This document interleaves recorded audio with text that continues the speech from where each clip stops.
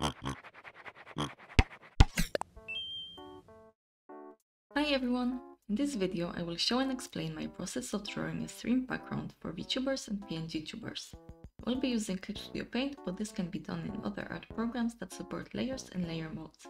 Let's start with a blank canvas. To make an image that fits standard video size, we want an aspect ratio of 16 to 9.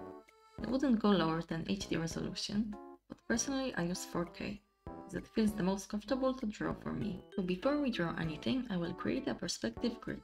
This will be a straightforward one-point perspective. I'm putting my PNG tuber on the canvas to help me visualize. First, let's create a horizon line. Since the line correlates with the eye level of the observer, it should be somewhere in the middle of the character's face. In the center of this line is the vanishing point of the axis determining depth, which I will call the z-axis.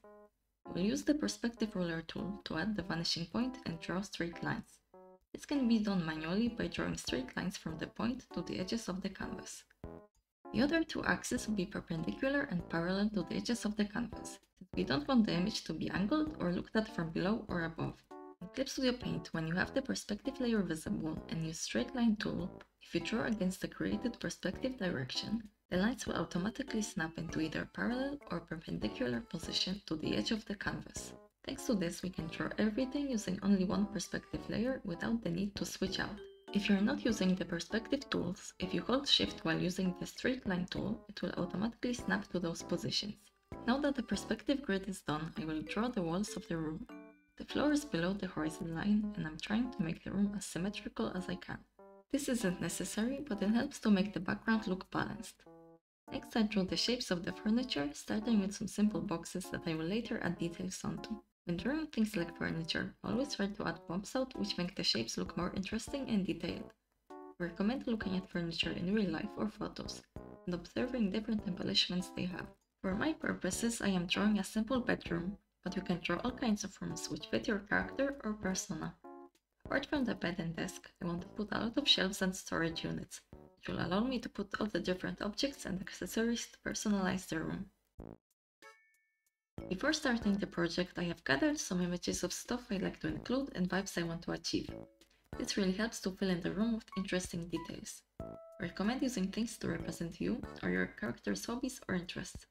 In my case, I wanted to include a lot of art supplies and sewing materials, as well as some references to games I like.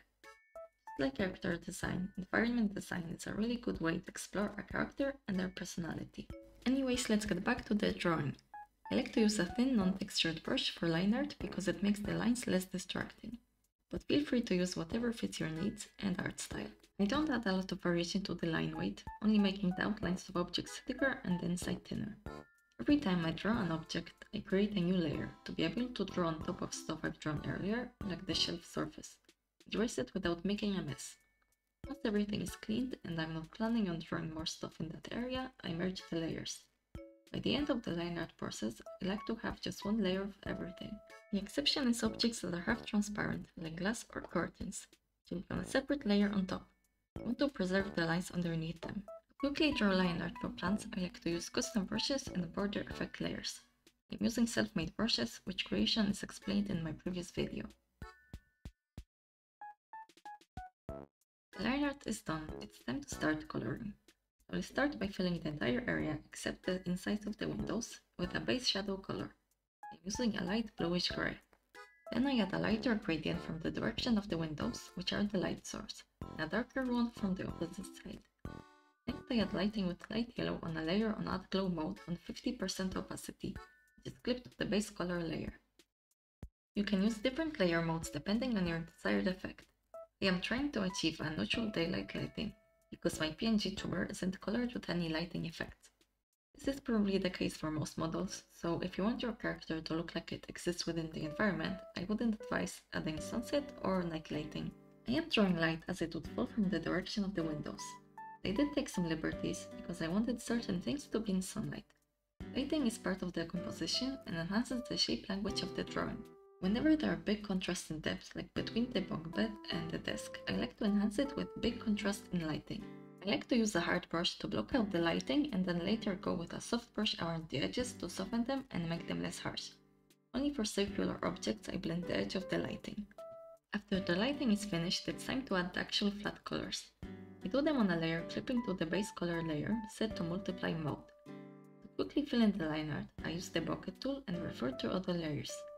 With neutrals like wood tones before moving on to the accent colors. I try to match the color scheme of the background to the character. Overall, I try to stick to the 60-30-10 rule, having one major color and two accent colors. Practice is more like creating different groups of colors. In this case, I wanted the majority to be different shades of warm browns, then vibrant accent colors dominated by reds and greens. I try to keep all the colors within a certain range of values, so that none of them stick out too much from the rest and everything looks cohesive. I especially avoid colors being too dark, because they might cause difficulties at the shading stage. But at this point, I do like to put some shadows in certain places if I want to add more definition.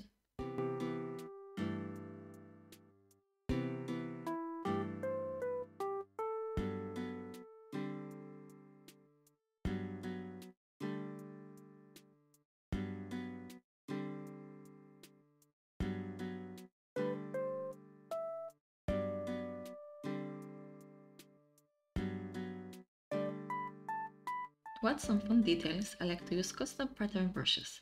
I use a lot of brushes created by the user 27pt and I really recommend them. I think they work very well for putting on stuff like fabric or stationery.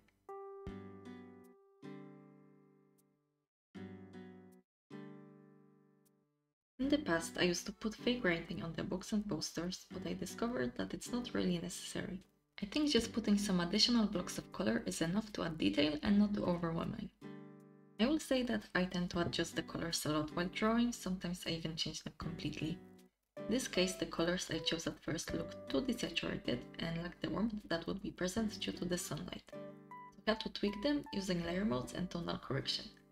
Honestly, I can think of a time when I didn't have to adjust the colors at some point, so don't get discouraged if it doesn't look good at the beginning. Sometimes even small changes can make a big difference. Alright, now we can focus on the shading. For that I create another layer on multiply mode, clipping to the layers below. Use a light grayish pink to make the shadow have a more saturated look to it. I don't really put that much detail into rendering each object, and I try to achieve a three-dimensional effect with gradients. I will demonstrate this method on a cube. I put a solid shadow on one side and then add gradients from the edges, making sure that they don't converge.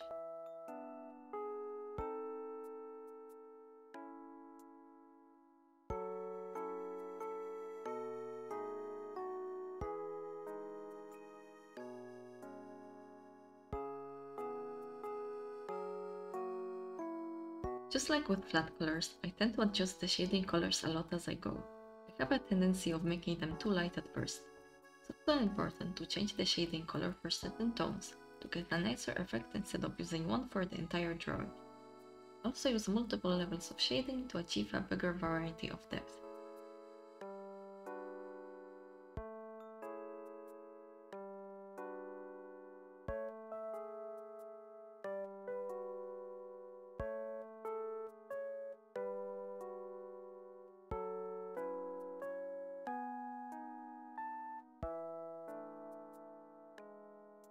Before we finish, I like to add some lighting effects to enhance the ambience.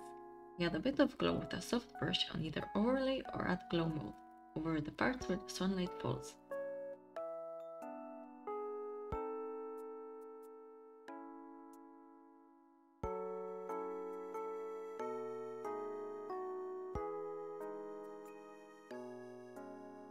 Also add some cool toned light on the sides of objects covered in shadows make them stand out more, simulate light bouncing off.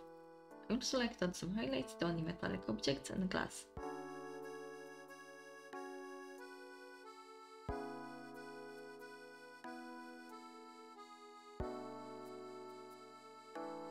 And that's pretty much the entire process. I have to say I did notice that compared to the background my PNG tuber was looking a bit washed out, so I had to put color grading on it, just letting you know. Anyways, I hope this video is helpful. If you enjoyed it, leave a thumbs up and let me know in the comments what else you'd want me to make a video about. Thank you for watching and bye bye!